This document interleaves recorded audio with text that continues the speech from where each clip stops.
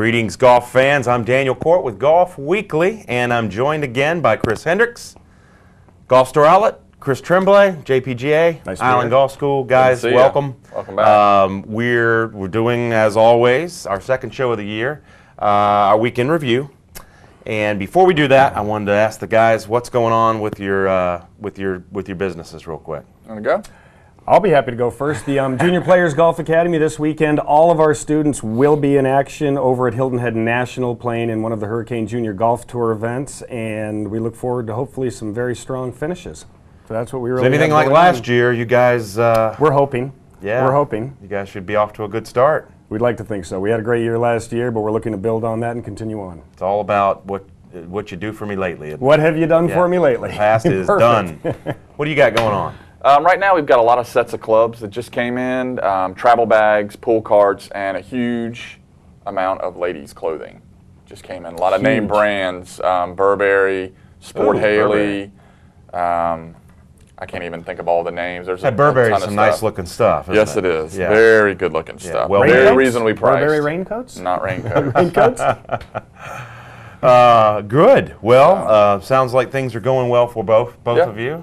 And we're back back home after being over at the Westin last week. it's always nice to be back in the house. Always nice to I be don't know. I back. kind of missed the house. Westin. That It's was pretty nice there. It's a ni- that was a nice setting. It was. Yeah, it it was, very was. nice. Yeah, I could could have lounged around for a while. Yes, but, uh, sir.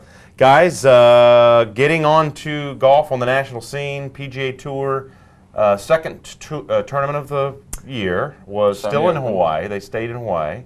And it's a very different course than Kapalua. They were playing at Waialae. Playing at Waialae Country The- Club the in Honolulu, where they've played for many, many moons. Yeah. And we had a tour rookie, Russell Henley, who came off the Web.com tour. He won twice last year on the Web.com tour. Actually, won a nationwide tour event, as it was called then, as an amateur in mm-hmm. 2011. And he pretty much waxed the field this week. He won um, shooting 24 under par. The nearest um, competitor was Tim Clark, who was 21 under. And then after that, you had two guys that were 17 under, so they were seven back of him. So Right. we've gotten the message loud and clear here early in the year that the um, the rookies are ready to rock and roll. Because tied for third was Scott Langley, a um, gentleman who came out of Q School. Right. So, um, like Yeah. we've talked about so many times on the broadcast, there's there's just so much talent out there, and when they really start to do exactly what they can do as well as they can, there's so many of them that are capable of winning. That's what amazes me. You know, they're not wasting any time. You know, these guys have been so well groomed, uh, not only with their games and their swings, but mentally.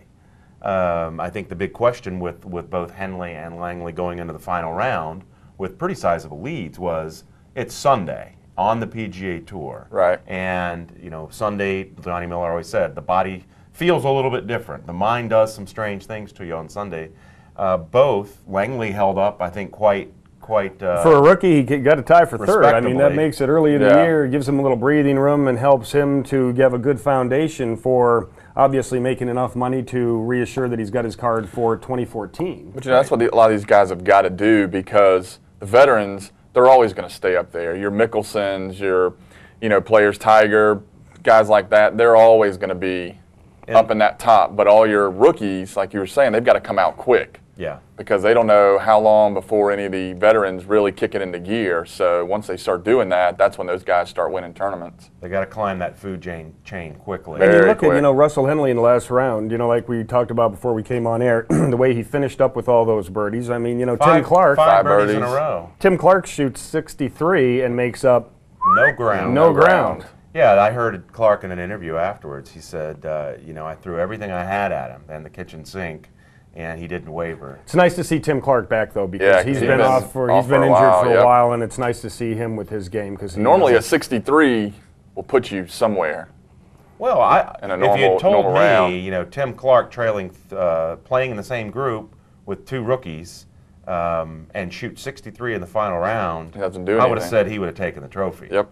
Um, John Maginnes said on PGA Tour Sirius Radio that uh, Henley's performance is, without question, the uh, the, the most impressive opening round for a rookie in PGA Tour history. That's how good can he played. imagine. He shattered all kinds of records. Oh, yeah. 24 under. That's broke six under the- a day. Yeah, That's six birdieing one out of every three holes with no bogeys. No He bogeys. shoots, two, he shoots 263s. That's, in uh, pretty impressive. And uh, this guy, they said, his father said he was just a really good athlete. Been playing all kinds of sports. He just settled in on golf, but he brings kind of a football, basketball intensity to the golf course. Right. And you're starting to see that. Not only are these players, these young players, uh, not, not only are they fit and not only are they uh, mechanically sound, well coached, but they're athletes. Mm-hmm. You- Very much so. You know, you're not seeing these old fat guys out there smoking cigarettes. used to and- be, that's and- right. And getting drunk at night. You know, these guys are They're playing. se- they're well groomed, well seasoned athletes. Well, that's you know, I'd like to think that's one of the reasons why you know at the JPGA we've had so much success is you know four days a week,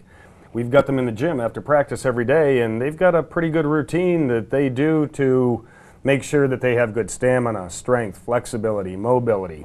'Cause people, people don't people don't over to realize that as you play multiple rounds throughout the week. I mean, it takes a wear. I mean, it takes a wear and tear on your body. Sure does. If you're not in shape.